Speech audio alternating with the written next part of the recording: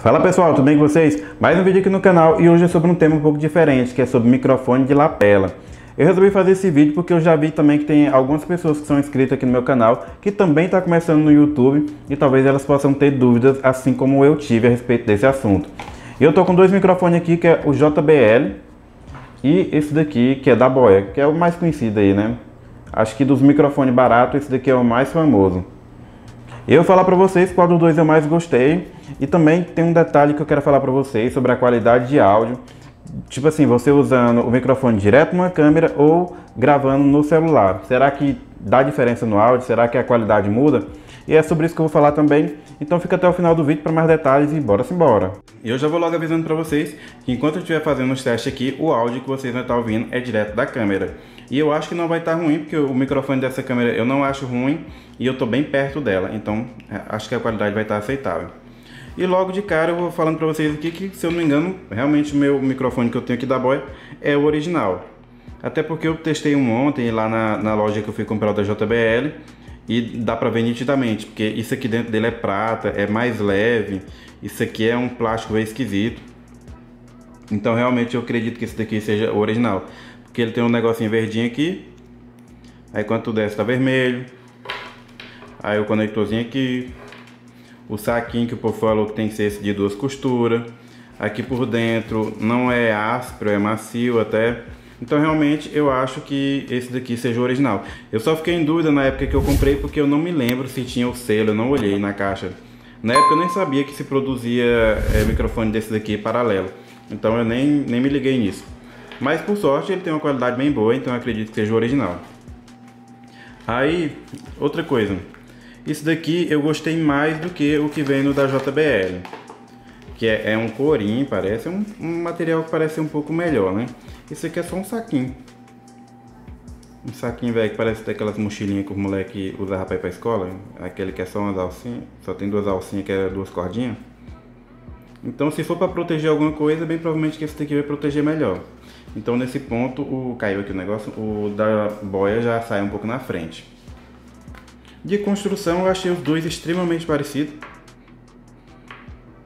Aqui, tem uma boa qualidade esse aqui. O desse também. Eu tava em dúvida se esse daqui era metal igual o da boia. Só que como ele tá um pouquinho geladinho e as outras coisas estão de plástico não estão, eu acredito que seja. A não ser que seja um, um, plástico bem diferente, mas parece metal, pelo fato dele estar tá geladinho em relação às outras coisas. Porque todo mundo sabe, né, que o metal ele tanto esquenta mais fácil quanto gela mais fácil, né? Então, me parece metal. De resto é bem parecido também, as mesma coisa, para cima é câmera, para baixo é smartphone. Ambos abrem aqui. Cadê, cadê?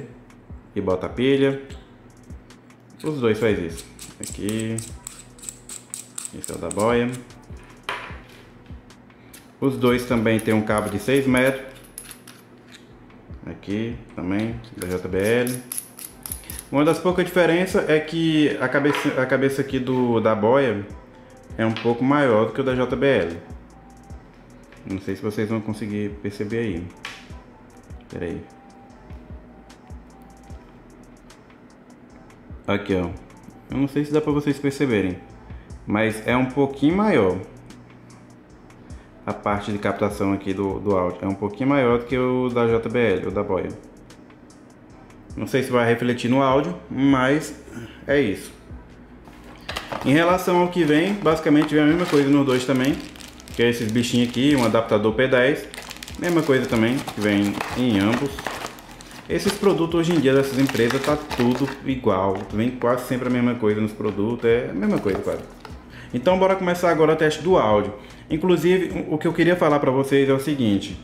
Que tem diferença sim você gravar com esses microfones plugados na câmera, igual por exemplo essa que está aqui me gravando, e gravar plugado no celular. Porque quando eu estava usando o Boya, já teve várias vezes que eu estava conversando assim e o áudio estourava, entendeu? E o rapaz que microfone ruim e eu estava gravando ligado no celular. Depois que eu comecei a gravar ligando o microfone direto na câmera, isso acabou, entendeu? O áudio ficou mais encorpado e não estourava mais, entendeu? Eu tive que comprar o JBL por outro motivo, foi porque deu defeito no Boya. esse botãozinho aqui, ó, ele deu defeito. Aí de vez em quando, quando tu clica nele aqui, ó, se tu der uma triscadinha nele, estoura o áudio, entendeu? Eu acho que o circuitozinho que alimenta aqui o microfone para funcionar na câmera deu uma bugada. Ou seja, por que eu tô falando isso?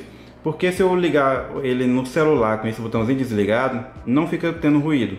Mas quando eu ativo esse botãozinho aqui e conecto ele na câmera, aí toda hora o áudio fica pipocando, fica uma coisa bem feia. E foi por isso que eu resolvi testar o da JBL. Por quê? Porque esse boia eu usei ele em uns 30 vídeos só. Porque, tipo assim, já tem um ano que eu tô com ele, mas eu usei mesmo uns 30 vezes no máximo. Então eu fiquei meio assim, eu achei que estragou rápido, entendeu? Por o uso que eu tenho. Como vocês podem ver, ele tá bem conservado. Eu não costumo estragar nada que eu uso, eu cuido bem das minhas coisas. Então realmente eu achei que estragou meio rápido, por, por pouco uso que teve, entendeu? Por isso que eu quis testar o da JBL. E agora bora ver se ele vai sair melhor, né? Então bora pro teste dos áudios aí. Ah, oi. Alô, alô, oi, oi. Alô, alô, alô, oi, oi, oi, oi, oi, alô, alô.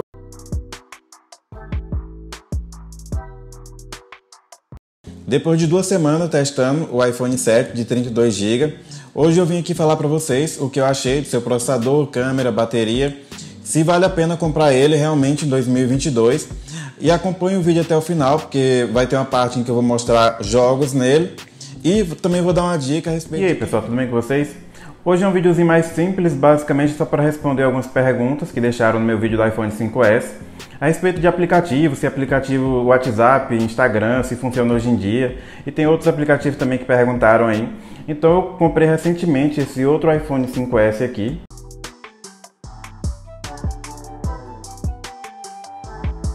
E aí pessoal, nesse exato momento vocês estão ouvindo a gravação com o microfone da Boya. Será que o áudio tá bom, tá chiando, tá estourado? Não sei dizer porque eu não estou ouvindo no momento, mas daqui a pouco eu vou ver. Então é isso aí, o áudio está ruim, Prestem bem atenção aí, porque agora eu vou gravar com o microfone da JBL. Vamos embora. E aí, pessoal, agora eu estou testando aqui com o microfone da JBL. Mesmo horário, mesmo dia, é a mesma distância aqui que eu estou do microfone. Então, realmente, eu estou tentando fazer o teste mais fiel possível. Para realmente vocês terem uma noção de como é o áudio dos dois nas mesmas é, circunstâncias, né? Fala pessoal, tudo tranquilo? Hoje eu estou aqui com esse cara, o antigo basicão da Motorola, o Moto G6 Play. E hoje eu vou falar a respeito dele, sobre seu processador, câmera, bateria, se ainda está valendo a pena comprar esse aparelho. Então fica até o final do vídeo que também tem o teste dos jogos e bora lá. vídeo aqui no canal e hoje é sobre um tema um pouco diferente, que é sobre microfone de lapela.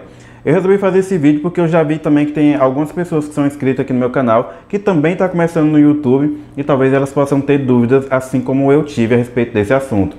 Eu tô com dois microfones aqui, que é o JBL e esse daqui, que é da Boya, que é o mais conhecido aí, né? Acho que dos microfones baratos, esse daqui é o mais famoso. Para finalizar, qual dos dois eu compraria, o JBL ou o Boya? Eu acho que por um pouquinho mais só de qualidade que eu, eu achei, é, particularmente, eu iria no JBL. Porque eu achei a voz um pouco mais encorpada do que no da Boya. Mas na contramão da Boya tem um pouquinho mais de brilho. Então, tipo assim, é mais por gosto pessoal mesmo. Eu gostei mais do da JBL, mas realmente a diferença é bem pouca. Tu percebe mais só se tu estiver usando um fone de ouvido. Aí tu percebe alguma diferença entre os dois. Se tu só colocar assim uma caixinha de som, alguma coisa assim, a diferença é bem, bem pequena, talvez tu nem perceba. Então realmente para vocês aí eu digo que dá para ir no mais barato, entendeu? Dá para ir mais barato, porque a qualidade é bem próxima. Então realmente se você não tem um, não tá procurando fazer algo assim tão, tão, tão profissional, né? Porque se fosse, tu deveria investir em um microfone acima desses dois aqui. Então, qualquer um dos dois vai servir. Eu acho que dá para escolher mais baseado no preço do que em questão de qualidade, que é bem, bem próxima a dos dois. Então é isso aí. Se você gostou do vídeo, se inscreve no canal, deixa seu like aí, comenta aí e falou. Ah, não, mas espera aí. Também de vez em quando eu deixo uns links na, na, descrição de alguma promoção, de alguma coisa assim que eu ver. Se tiver desses microfones eu também vou deixar aí. Então dá uma olhadinha lá, só por via das dúvidas, né? E falou agora, viu?